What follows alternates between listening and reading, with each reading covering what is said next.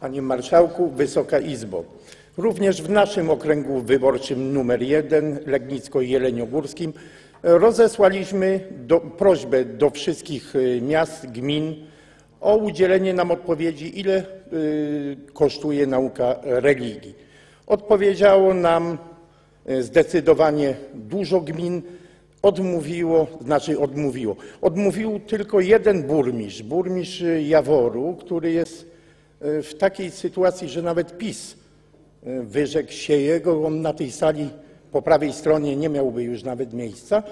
Natomiast y, takie miasta i gminy jak Karpacz, Gaworzyce, Sulików, Pielgrzymka, Zagrodno, Przemków, Radwanice, Mirsk, Olszyna, Rudna, Krotoszyce nie nadesłały do dzisiaj informacji.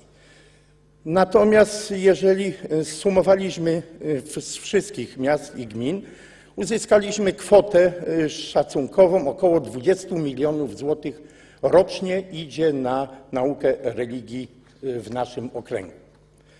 Biorąc pod uwagę to, ile to pieniędzy idzie, y, postanowiłem z mojego y, powiatu, z powiatu kamiennogórskiego zliczyć i zob- zobaczyć, jak to jest u nas.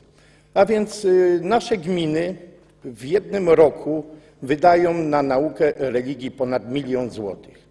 Jak duże to, to są pieniądze i co za te pieniądze można byłoby zrobić, no to zdecydowanie nasi włodarze by odpowiedzieli. W dobie, gdy ogranicza się ilość lekcji historii, fizyki czy chemii, klery wymusza pieniądze na indoktrynację młodzieży w szkołach, nie dopuszczając zarazem do nauki etyki. Jak długo jeszcze będziemy tolerować płacenie watykańskim przedstawicielom za coś, co powinni prowadzić u siebie i za swoje kościelne pieniądze? Dziękuję.